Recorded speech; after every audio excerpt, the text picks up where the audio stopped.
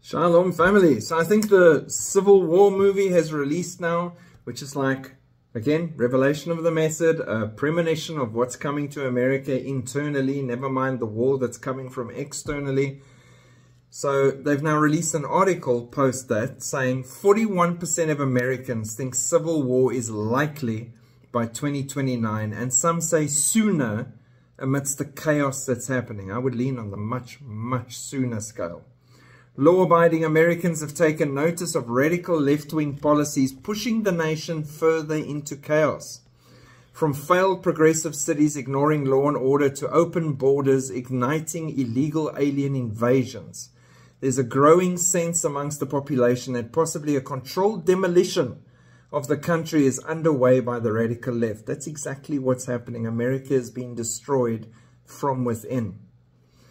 Uh, the survey by Rasmussen Reports found 41% of Americans concerned a civil war would erupt sometime over the next five years.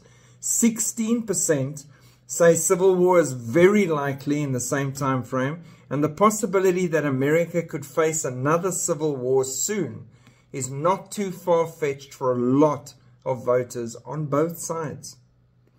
So the world is waking up to the realization and reality of the life around them and what we're living in.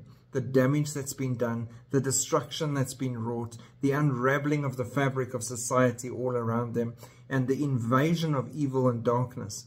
And now they're wondering what they can do. You can turn to Jesus Christ. You can start reading your Bible, attending church, hanging out with brothers and sisters in the Lord, seeking the Holy Spirit's guidance you can turn to God. That is about the only thing I can advise you to do, and He will guide you further from there. Shalom.